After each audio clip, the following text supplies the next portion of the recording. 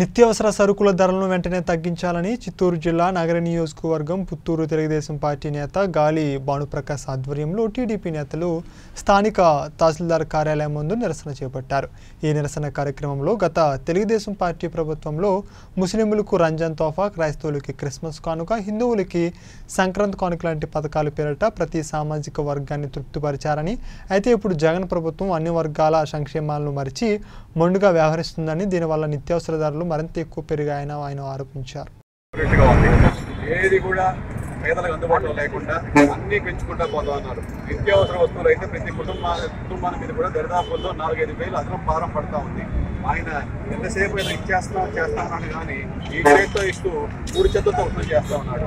ఏ వస్తువు కూడా వదలకుండా ఇసుక నుంచి మద్యం నుంచి ప్రతి వస్తువు కూడా అందుబాటులో లేకుండా ఖచ్చితంగా దుర్మార్గ ప్రభుత్వం ప్రజలు ఏమి కావాలి అని తెలుసుకోకుండా సినిమా టికెట్ ఎవరు కావాలంటే కష్టపడి పోతాడు కష్టపడి తినే వస్తువు రోజు కూడా పథకాలు ఇంకేత జ్ఞానం కూడా లేకుండా చేస్తా ఉన్నారు. ఏది తగ్గించాలా దేని మీద టైం పెట్టాలా గవర్నమెంట్ ప్రభుత్వం ఇచ్చి దేని మీద టైం పెట్టాలి దేని మీద సంక్షేమ కార్యక్రమం అటు చేయాలి డెవలప్మెంట్ చేయాలి రోడ్లు వేయాలి అని అవన్నీ మర్చిపోయేసి సినిమా టికెట్లు ఇట్లా కాలయాపన డైవర్షన్ ట్రాకెట్స్ అంటే ప్రజల దృష్టి ఏ విధంగా మలుద్దాం వాళ్ళ సమస్యల మీద ఆలోచించుకుని అది చేద్దామనే దృక్పథం తప్పితే ఏ రోజు కూడా ప్రజలకి మంచి పని చేద్దాం మన కాంక్ష కానీ వాంఛ కానీ తెలియలేదు ఏదైనా అంటే నూట యాభై ఏడు గెలిచామంటాం కానీ ప్రజలు ఇట్లా మోసపోవడం చేయమని చెప్పి ఇవ్వలే వాళ్ళు. మంచి చేస్తారని చేశారు. కానీ నిట్ట నిలువున దోపిడీ కేసు ఇవాళ ఇసుక ఐదు వేలు ఆరు వేలు పెట్టండి నాకు ఇసుక రావడం ఇంత ముందు నాలుగైదు వందలకు వచ్చేసేది. మీరు చూస్తున్నారు చక్కెర. ఇంత ముందు మన రేషన్ షాప్లో ఇరవై రూపాయలకి ఇచ్చేవాళ్ళం.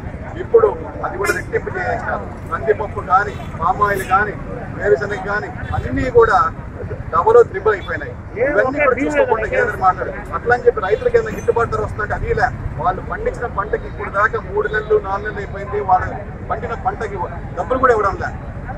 ప్రొక్యూర్మెంట్ చేస్తారు డబ్బులు ఇవ్వడం లే. త్రీ మంత్స్ ఫోర్ మంత్స్ అయిపోతా ఉంది. వాళ్ళకి డబ్బులు ఒక ఆ పైసలు రాలే. అట్లా అని చెప్పి సీట్స్ ఇస్తున్నారంటే వేరుశనగ ఇచ్చిన పాపాన్ని పోలే. మనం చూస్తున్నాం. ఇంతకుముందు నగరి కాన్స్టిట్యూన్సీలో ఎప్పుడు కూడా వేరుశనగ వచ్చిన షార్టేజ్ అంటూ రాలే. ఇవాళ మండలానికి వస్తే గొప్ప. అంటే చూస్తే గొప్ప అన్నట్టుగా అయిపోయింది ఏది కూడా అంటే కాలయాపన చేయడం డ్రామాలు చేయడం వితండవాదం చేయడం నోటికి వచ్చినట్టు వాగడం తప్పితే ఏ ఒక్క రోజు పనికి వచ్చిన పని చేయలేదు. ఇది ఖచ్చితంగా దుర్మార్గం ప్రభుత్వం ప్రజలు గమనిస్తారు రాబోయే రోజుల్లో మీకు ఖచ్చితంగా ప్రజల తిరస్కారం ఎదురు చూడబోతున్నారు. ప్రజలు మేలుకున్నారు. ఇది మేము ముందే ముందే చెప్తున్నాం. ఇప్పటికన్నా మేలుకొని ప్రజలకు ఏదైనా ఇచ్చిన దానికన్నా మ్యాండేట్ కన్నా కొంచెం మంచి చేసుకోండి. ఎట్లానే మీరు వచ్చేది తెలిసిన తర్వాత.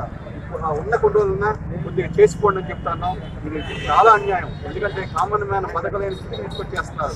పక్క రాష్ట్రంలో ఇదే సెంటర్లో జగన్మోహన్ రెడ్డి ఆ రోజు కూర్చొని తమిళనాడు గురించి మాట్లాడాడు. రెండు రూపాయలు తేడా ఉంటే పెద్ద ఆకాశం ఊడిపడ్డట్టు చేశాడు ఇవాళ పద్నాలుగు రూపాయలు తేడా ఉంది పెట్రోల్. పద్నాలుగు రూపాయలు. గమనించు. తెరు కళ్ళు తెరువు అర్థం చేసుకో చస్తున్నారిడ ఇంకా కూడా ఏమీ లేనట్టు ముందు మోపిదనంగా చేస్తాం పోతున్నారు గాలి